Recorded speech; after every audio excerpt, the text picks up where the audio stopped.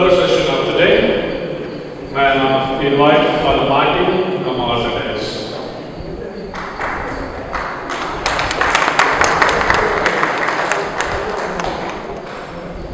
The resource person for the third session is Father Martin Gnanaprakash, Assistant Professor, Secretary College, Satya Nilayam.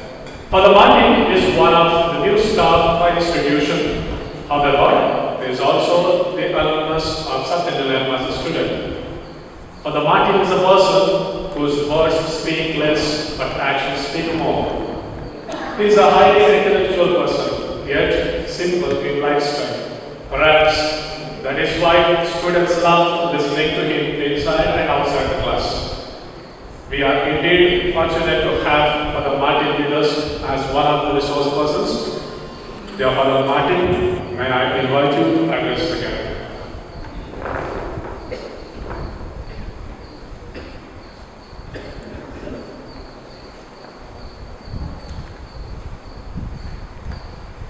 A very good morning, dear fathers and my dear friends. The topic that I have chosen for my presentation is the post-pandemic self, an ethical perspective with special reference to Levinas. So we will be having uh, the understanding of the post-pandemic self from an ethical perspective and to within the framework of existentialist phenomenology. So let me summarize my entire presentation. This is a summary. The isolated, unconcerned self as ethically wounded in the post-pandemic world. A call to have an ethical stand of self towards the other with special reference to Emmanuel Levinas. So this is the outline of the presentation today. First of all, I will present the context of the paper. The context of the paper is the concretely ethically challenging post-COVID experiences. Secondly, I will identify the underlying moral issue in those concrete experiences. Thirdly, uh, we will have an ethical reflection on the moral issue, issue identified with special reference to Levinas. And finally, this paper attempts to give an ethical conclusion envisaging a moral human person in the ethically challenging post-COVID scenario. First of all, let us see what is the context of this paper. It is a concrete, ethically challenging post-COVID experiences. As we know, we are living in the post-pandemic world. The pandemic is not over, but post-pandemic in terms of its effects and shadows on humanity. If you want to summarize in one word, what is this post-pandemic world is? The answer is woundedness. People in the post-pandemic world are wounded physically, mentally, economically, psychologically, spiritually, and socially. Pope Francis said that the world is seriously ill from the consequences of the pandemic.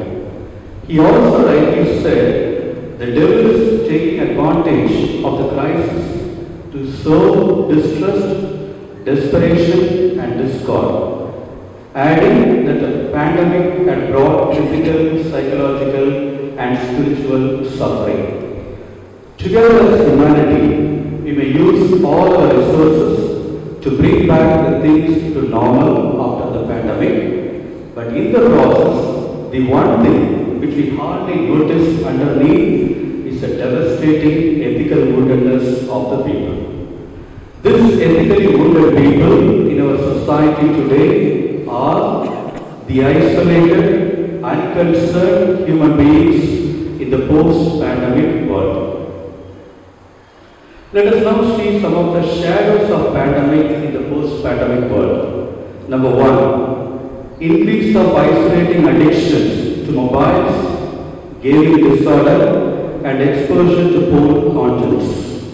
These online contents have the tendency to reduce the sensitivity of the players towards violence.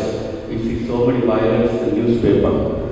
These things made the individuals to look for isolation, places of secrecy, urge for private space, etc., and escalated individualism. And many children nowadays, including the members of my own family, uh, prefer to play with mobiles to enjoy the company of parents and friends. This is a new generation emerging. Secondly, our economy is also clashing with morality. The sectors that are fulfilling basic human needs like education, healthcare, and religious support were badly affected. But the online sectors, sowing the seeds of moral degradation in easily accessible modes, caused moral havoc in the minds of young people during the pandemic. And also thirdly, an isolation is always linked to domestic violence. National lockdown has reported more than 50% rise in domestic violence, intimate partner violence, sexual violence and harassment, rape, forced sexual acts, unwanted sexual advances, child sexual abuse, forced marriage, street harassment, stalking, cyber harassment, etc child marriages, unwanted pregnancies and abortions increased. Then loss of jobs. This loss of jobs, according to the statistics, say it has increased both the male and female prostitutions as well as crimes in the major cities across India. Let us see some other manifestations of moral, moral degradations in the post-pandemic world poverty, ignorance, breakdown of traditional values, and the tendency to defy norms. Disrespectful human interaction, families and institutions are falling apart. apart. Escalated self-centered individualism also. Then self-absorption without compassion is also very prevalent. The widening gap between the rich and the poor, threatening the delicate social fabric of a nation and co-created population of orphaned children.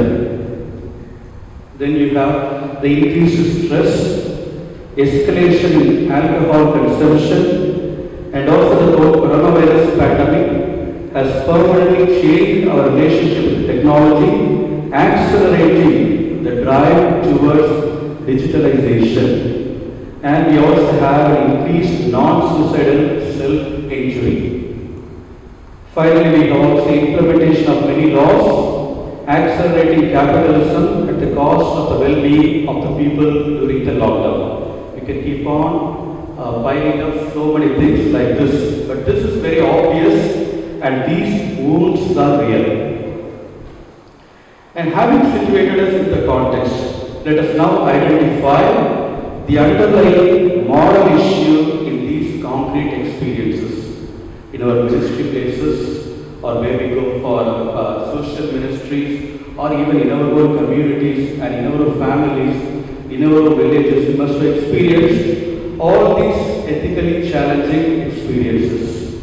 Now let us now identify the underlying moral issue in these concrete experiences.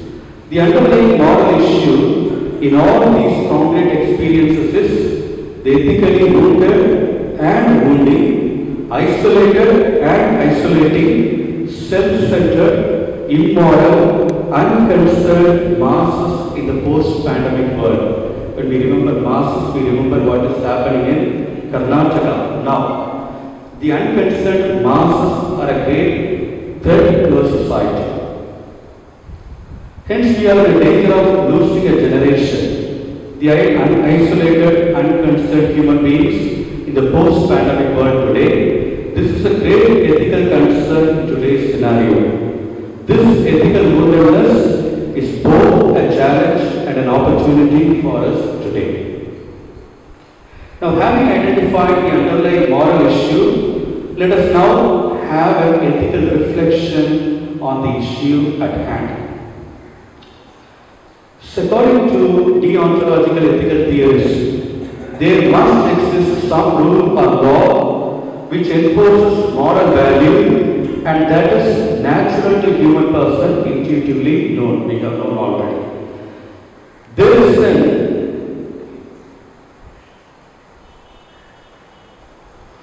there is then an element of intuition in all the people, no matter how he conceive of it and the way he approach it. Whether as conscience of logos or the a priori categorical imperative of Kant or right reason of Thomas Aquinas. Whatever you take, the one truth is very clear.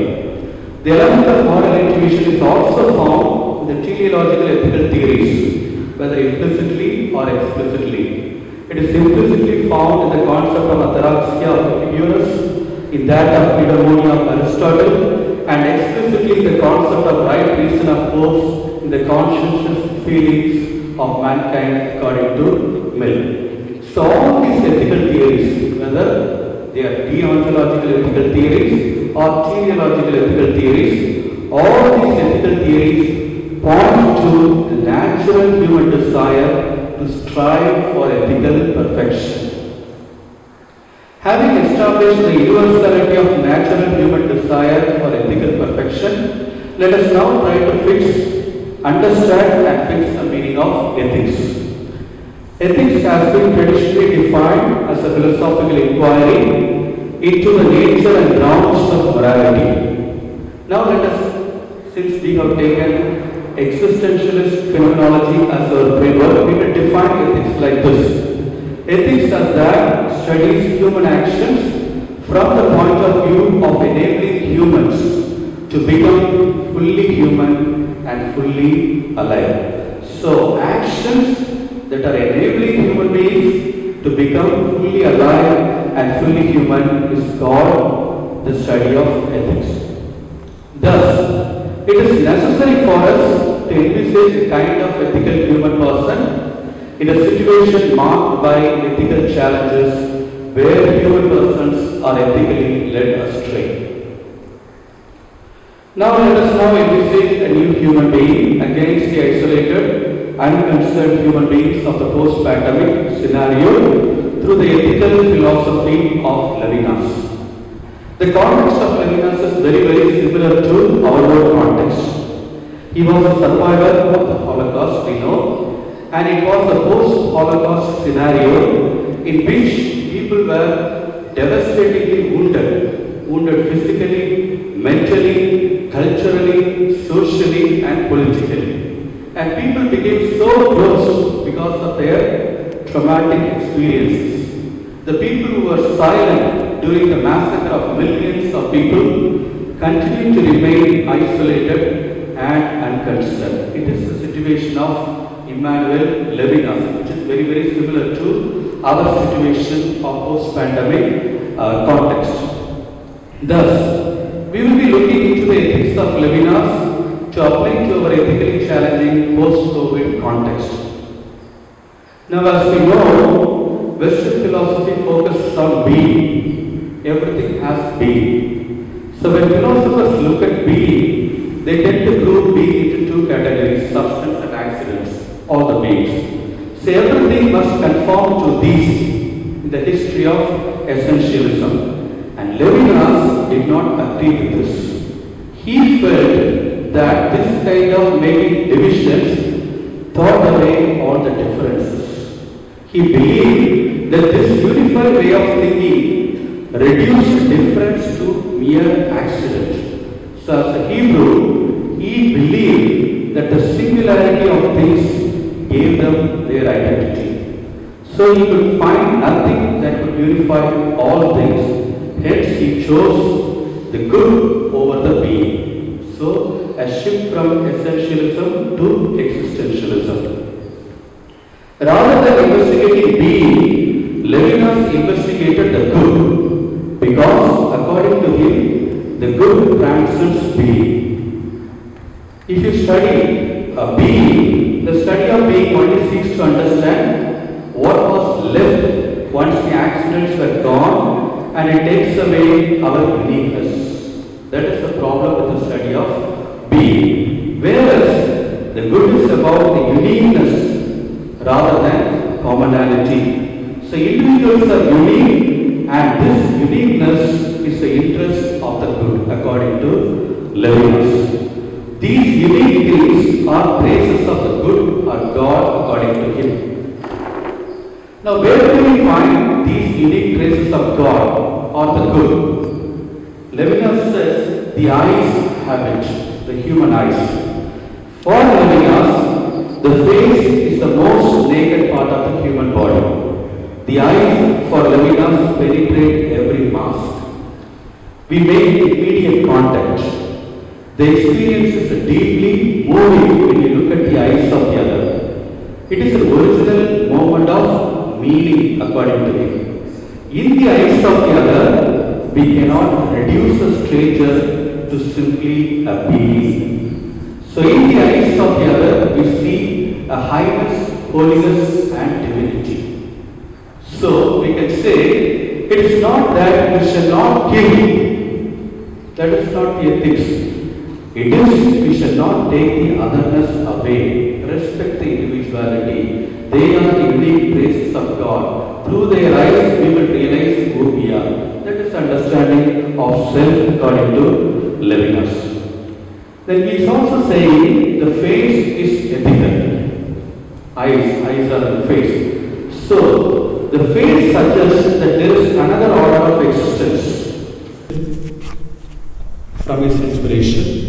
The ethical conclusion that we are proposing is envisioning human persons or human self as related and interconnected, looking at the face of the other amidst the isolated, unconcerned human beings who are ethically wounded in the post-COVID scenario is the need of the hour. That is the conclusion that we are arriving at. Now, we should not, uh, we should also keep in mind that this interconnectedness of humans should not exclude nature around us. That is very, very important. That is what the pandemic is teaching us. The COVID 19 pandemic underscores how tightly interwoven humanity has become. A single infected animal somewhere in China set in motion a chain reaction with effects that nearly a year later are still reverberating in every corner of the planet. These challenges of an interconnected world require new approach to ethics. For example, ethics is normally viewed from the perspective of the individual. What should I do? What should I do? Rather than asking, what should us a whole humanity do? But sometimes we step back to take in a broader global perspective, asking how the world ought to respond to a pressing concern. Meeting this challenge will require a radical reorientation in our own thinking, seeing our generation as a small, small part of much greater whole. We will thus need to adopt not merely a global perspective, not merely a global perspective of everyone alive today, but the perspective of humanity itself, the hundreds of generations that are going to come after us. By adopting this ethical lens, we will have a better view of our crucial role in the larger story of our species. Thank you.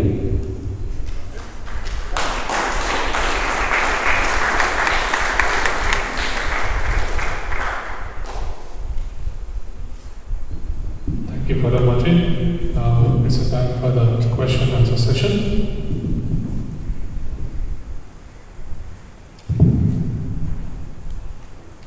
Well, I would like to congratulate you for the beautiful presentation, first and foremost. My question is, I will take it from your presentation. Uh, you mentioned that post-pandemic created, we are isolated, some are seeking isolated. Compared to the post-Holocaust scenario, people were traumatized, uh, wounded, but at the end of the Holocaust, the traumatized society came together because they were in need of each other. Keeping that in mind, my question is, if in case the book comes in the future, the pandemic ends, since we have that uh, fear, uh, communicate with other because we are carrying the virus, so the scenario is different. It is the whole humanity is affected. That Holocaust was one humanity killed other. Therefore, what's your answer? In the future, people will seek each other or will the, the same scenario will come or not. Will traumatized people will come together and enjoy the, the world. Will, will it happen or not? That's my question. That's a good question. What he's asking is, we are in a situation now where we cannot interact with each other because of uh, the COVID experiences. We don't know how the situation will be in the future, but within the given framework, uh, within whatever resources we have, the available resources, the available interactions, the available time and energy, we have to keep this ethical lens at the behind. Okay, what are we doing? What is our mission in this isolated uh, post-pandemic world? That framework we should keep, the perspective we should keep, and depending on the emerging situations, we have to act according to the driving force that are within. Okay. We don't know what will happen in the future. We are very uncertain. But one thing is sure, we are wounded devastatingly. Uh, yesterday, Father Francis forwarded a video. Uh, lecture, professor was expressing her uh, dissatisfaction. She's cold, uh, she's very angry, frustrated, and the students as well. So both the sides, uh, there are problems of woundedness. We are not able to uh, do what is expected of us because of this woundedness. So we need to understand each other and create an atmosphere in which we help each other.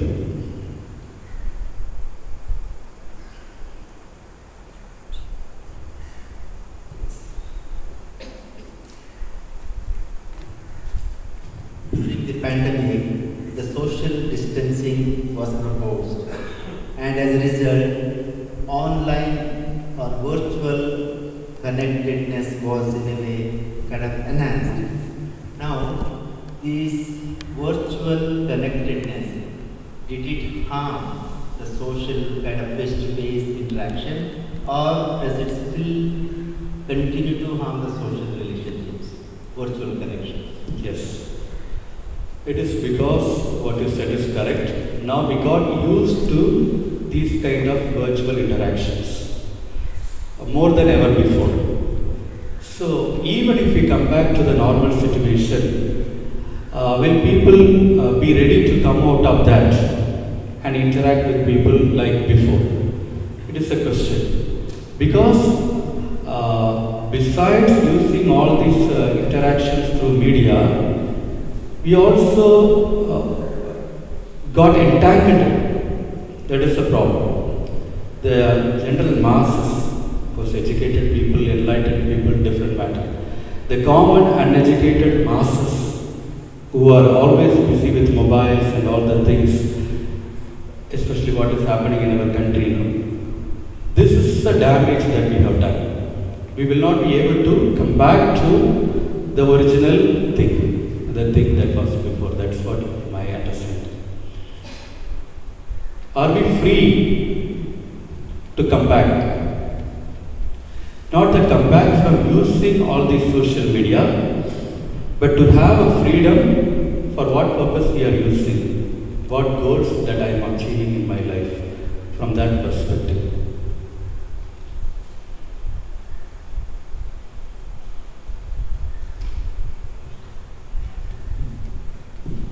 First of all, thank you for a beautiful presentation. Now my question is, uh, just I want some clarification. Since you brought up the issue of uh, our addiction to mobile phones, so even the digital companies have got some ethical uh, frame to uh, to conform to or to abide by. And sometimes the goals of those companies are not the same goals as we humans have. For example, the goal of a mobile company would be to have to attract as many as users possible for the benefit of their own company, and where the uh, human goal would achieve something concrete, like uh, to grow in uh, oneself, oneself, whatever includes, like you cooking, uh, doing all sorts of things besides this mobile activity. Now, so the, my question is, uh, should the digital companies also have a framework, you know, like as we have taken Levinas as the the foundation for the good. So they also must come, uh, abide by uh, you know, the standard, the good, so that we are also not affected. Otherwise, the mobile companies are becoming, they are the isolating and we are the isolated because finally it is they who are uh, profiting from our problem. So, what's your response? Yeah, that is exactly the point.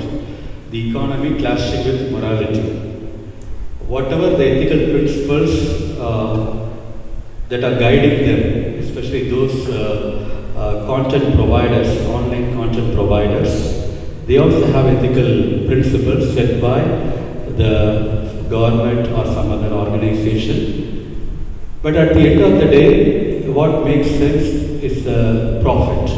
So for the sake of profit, they will do anything. Now, if you open the mobile, all the porn contents are there. Do they follow any ethical principles? It is available. Some governments may ban, okay, we are banning these online uh, sites so that our people will not get affected by all these mental and psychological illness. That kind of things are there. But the government is also nowadays is not ready because of the benefits they are getting. Uh, that also is uh, so that the economy is always uh, clashing with morality. That thing is said. Whatever you say, the base economy, base economy in today's capitalist world. Okay, for that they will do anything. Even values can be altered according to their motives. So even the government is also helpless uh, while facing capitalist economy. They can't do anything because they have to sustain the uh, economy of the country also. So all these things are like webs. So one cannot be without the other. Whereas here only the individual responsibility comes forward. We cannot uh, say that all the things are available. They have to do. They have to do. Whereas we individuals have to take step and say, okay, I am responsible for my things, my growth, and my well-being.